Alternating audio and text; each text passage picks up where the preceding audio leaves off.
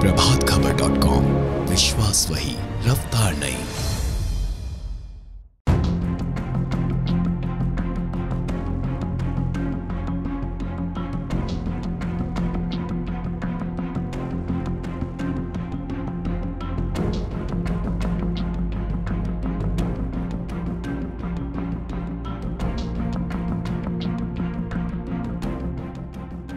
नौबतपुर के कर्णपुरा गाँव में एक दिल दहला देने वाली घटना घटी है।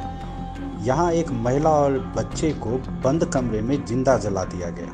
बताया जाता है कि एक युवती ने अपनी चाची को कुछ पैसे उधार दिए थे। उधार के पैसे मांगने के दौरान ही कुछ विवाद हुआ और युवती ने अपनी चाची और उनके बेटे को कमरे में बंद कर दिया। बताया जाता है कि दोनों को कमरे में बंद कर मिट्टी का तेल छिड़क दिया गया और आग लगा दी गई। इस घटना में दोनों की मौत हो गई। वहीं थोड़ी देर बाद ही ये खबर जब आग की तरह गाँव में फैली तो लोग आक्रोशित हो गए।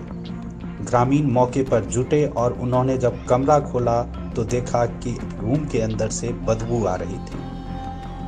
कमरे में राख बिखरा पड़ा था। जिसके बाद आक्रोशित लोगों ने आरोपित महिला की पिटाई कर दी। घटना की जानकारी मिलते ही नौबतपुर थाने की पुलिस मौके पर पहुँची और किसी तरह आरोपित महिला को छुड़ाया। ग्रामीणों के गुस्से का शिकार बनी आरोपित महिला को इलाज के लिए पुलिस अस्पताल लेकर गई। वहीं आरोपित को गिरफ़्तार कर पूरे मामले की जाँच में पुलिस जुटी हुई है।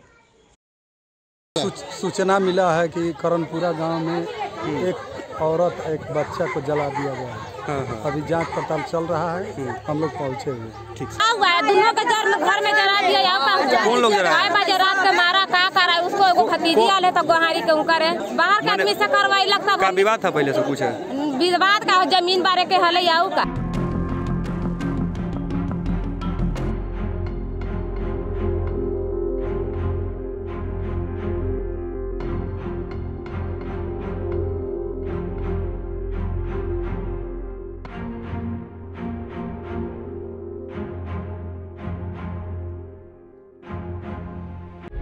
प्रभात खबर डॉट कॉम विश्वास वही रफ्तार नहीं।